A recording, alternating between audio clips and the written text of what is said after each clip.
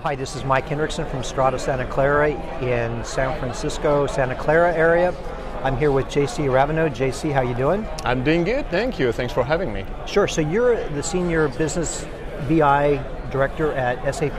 Yes. And uh, SAP has been around for 40 some years and your BI has been around for 25 like plus 25 years, years. Mm-hmm. Uh, mostly involved in enterprise organizations. Um, but lately, you've been getting some accolades from the industry about your efforts. What, what's going on there with, with Abs- you, you, guys in BI? Absolutely. Thanks for asking the question. And by the way, uh, we just had uh, a very good uh, review of our mobile BI um, uh, application. Mobile BI. Mobile BI application by Howard Dresner, Wisdom of the Crowd. So, so what would I use mobile BI on an iPad or? Well, on an iPad, on an, on an iPhone, on um, Android? Uh, Android? devices as well. Nice. Uh, so it's very good. So I think it's really a validation of the, the strategy that we have around the analytics altogether um, and the execution of the strategy, obviously, right? Um, so in the past, we had this idea of um, it has to be the single version of the truth, right? It has to be a data warehouse, and so on and so forth, right? We all know the story. Um, but if you look at it, it only addressed um, a very small percentage of the data, right? Um, people are saying that 90% of the data was untapped at this time. We at SAP call it dark data, data okay. that people didn't have access to, right? And that you know has value, right? Then you had a an emerging trend, which was the self-service, right? How do I start leveraging those data in a self-service fashion? And you started to see emerging those kind of point solutions for the analyst kind of profile. Kind right? of federating. Uh, that were kind of tapping into this yep. untapped data. But for us, it was like, okay, well, there is a problem to this because now you're creating silos. Federation of data, right? You're creating silos.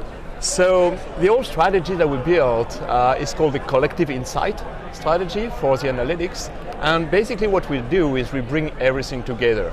We have our BI platform, which is SAP Business Objects BI4, right?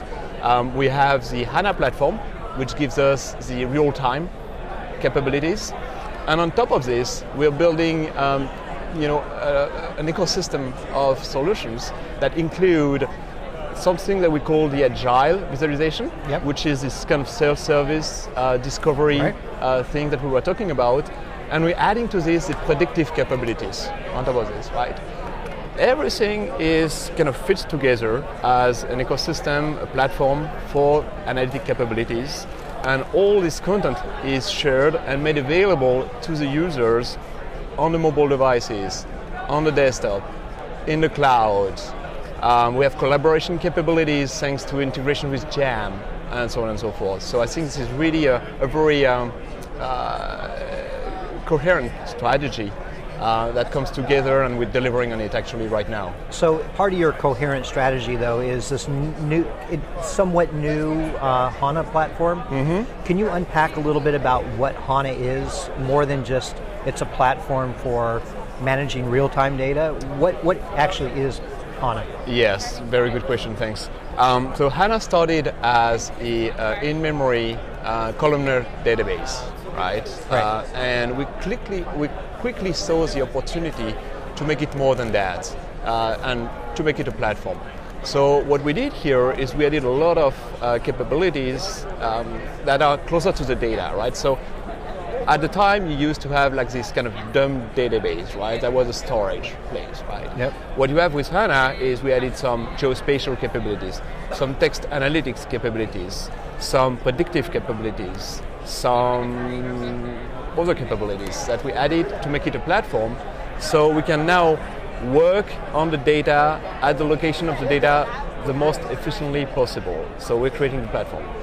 Then we started to wrap this um, into more platform-ish um, capabilities like you know um, provisioning users, uh, having HANA in the cloud, um, developing applications directly on HANA. So we have this now is this you know real what we call a real-time platform that is capable of processing um, any kind of data really um, and uh, really simplifying. I think this is a key word here: simplifying the entire stack So we can collapse the entire stack into HANA and, and really make this, this kind of beautiful systems with some analytics that sits on the top, um, very simple, uh, very efficient. So one of the theme, themes that I've been hearing more and more at this conference is we're, we're hearing people talk about the Internet of Things, mm-hmm. the industrial Internet, machine to machine, all the different descri- Internet of everything. There's, right. there's a ton of words to describe right. what's going on there in the machine to machine world or machine to person world or uh, you know, our physical world connecting with our software world, that sort of thing. Absolutely. So a lot of the data that's generated there, though, is kind of unstructured, or, or you know, it's hard to ingest. Will HANA be able to uh, identify and, and, and normalize that data, or make it work for you? Yeah. Um, so, so there are two things that are very interested with, uh, very interesting story with uh, machine-generated data, right? Um, a good thing uh, data is actually pretty clean, right? Because it's machine generated and uh, machine don't make mistake, right? I'm not going to miss an you know digit the IP right, address or what for a zero. E- yeah. Exactly. Yeah. So that's a great part of it. Now, machine means also a big variety of the data, a high velo- velocity of the data, and obviously volume of the data as well. So the four V's that we recognize as being part of the big data, right? Um, what you need is you need capacities to process this data very quickly in order to make sense of it. So there is also this notion of the value is time. Time is of the essence, really, right? The value is in uh, the data that's coming in right now, and the value is going to be lost if I of wait for even hours of or days uh, to use them. So the advantage of having a real-time platform like HANA is we can ingest this uh, this stream of data really um, and aggregate this. You know, there is some uh, federation engine as well in HANA, and you can aggregate this and quickly make sense of it and surface some dashboards or surface some actions to the user.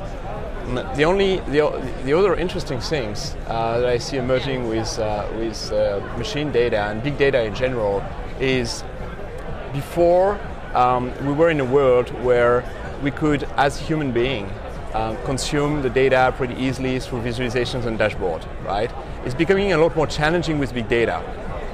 So uh, what I see is two different trends here. One is we have to make software that is capable of aggregating the data in a fashion that makes it consumable by, by a human being. Right? right. So right. Um, capabilities like predictive analytics um, or any kind of aggregation capability is going to be very important in the future. That's one. The second thing is we're going to see emerging more what I call analytical applications. So machine data being processed by machines and action taken by machine by machines to surface something to the user. Uh, for example, a good use case of this is uh, real-time uh, offer management, right? That we yep. see a lot. So those those two things are, I believe, the big trends uh, for the future. So, can we? I, I want to kind of unpack the word real-time. Um, I remember uh, 20 some years ago working with PJ Plauger, who uh, wrote a book with Brian Kernighan, and his his term for real-time meant anything that had a time component to it because it, it, could be that your time component is every two days it strikes on that exact mm-hmm. moment mm-hmm. and that's a real-time system because mm-hmm. it had a timing component that had to be precise and on right. time so what is the current definition of real time that we're all using with data now is it like yeah. instantaneous data is there another word that we should be using here than, than maybe real time that's a that's a good question i mean real time can be many things the way i I understand real time and the way we want to work with it is really around um, be able to do something with the data by the time at the very time it comes from the transactional system.